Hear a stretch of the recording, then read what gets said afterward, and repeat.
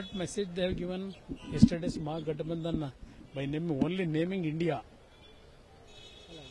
India name. They are uh, changing the UPA. केवल गठबंधन का नाम इंडिया रखकर वो क्या संदेश दे रहे हैं वो यूपीए का नाम बदल रहे हैं और नए नाम इंडिया की घोषणा कर रहे हैं बस यही उनकी एकमात्र उपलब्धि है देश के लिए क्या योजनाएँ हैं क्या तौर तरीके हैं विकास के प्रति उनकी प्रतिबद्धता क्या है और पिछले वर्षों की समस्याओं के प्रति उनका क्या नज़रिया है?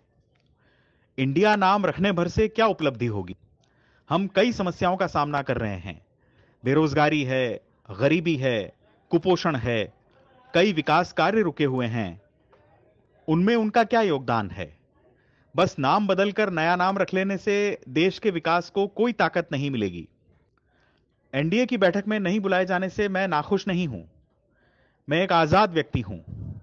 हमारी पार्टी एक आज़ाद पार्टी है। हम दोनों राष्ट्रीय पार्टियों के खिलाफ लड़ रहे हैं। हम किसी राष्ट्रीय पार्टी के आगे गिड़गिड़ाने वाले नहीं हैं।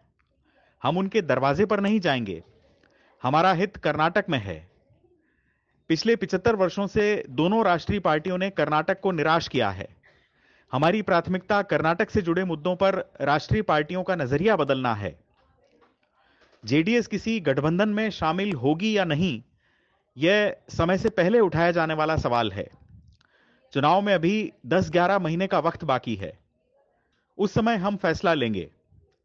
हम कर्नाटक में लोगों के हितों की रक्षा के लिए कोई भी फैसला करेंगे। कर्नाटक में वो लोग वास्तव में आसमान पर हैं। उन्हें यहाँ जेडीएस की ज़रूरत क्यों है?